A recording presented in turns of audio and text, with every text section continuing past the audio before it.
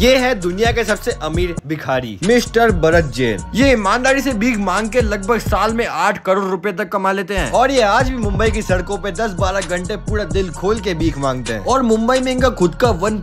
crore rupees का दो B का अपार्टमेंट है और इनकी खुद की दो दुकान है जिससे तीस तीस हजार रूपए महीने का किराया आता है बस भाई बहुत हो गया मैं तो चला इनका असिस्टेंट बनने